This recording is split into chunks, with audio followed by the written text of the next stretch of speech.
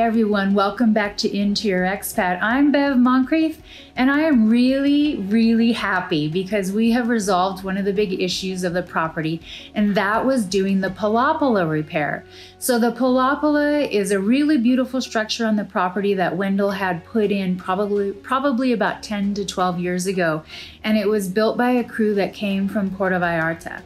So the issue is no one really does that work here. It's a trade that is more coastal and all the people that are working on the house, Ben and Ilario, they're people that have lived and grown up in San Miguel de Allende.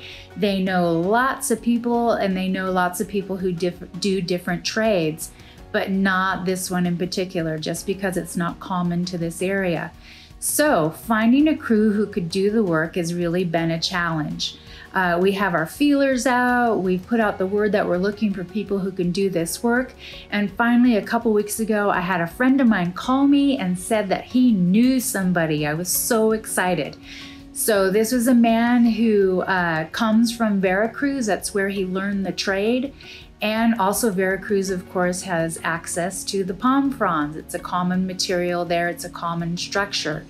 Uh, so I called this man immediately and he came out and he checked out the palapa.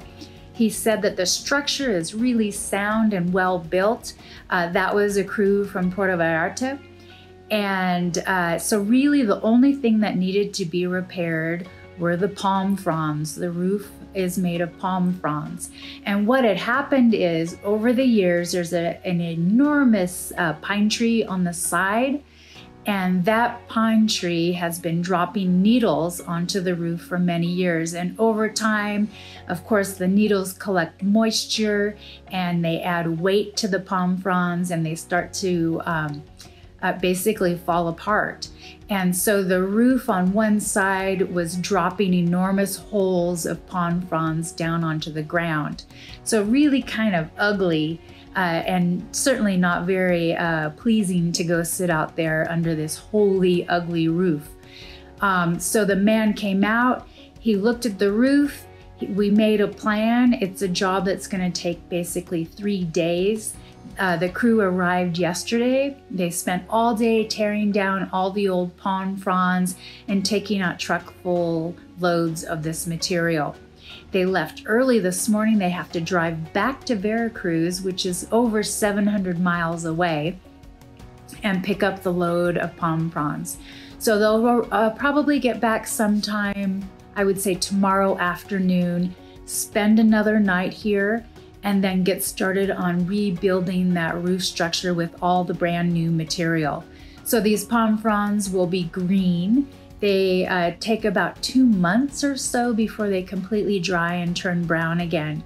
Uh, the only difference I'm going to have them do uh, with the old structure to the new structure is I'm going to have them trim all the palm frond edges completely straight and level.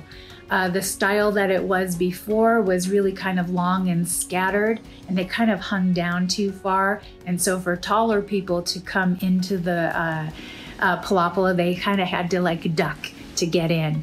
So that's really going to be the only change that will be different. And I'm shooting video before and after and also during the process so you see what the work looks like.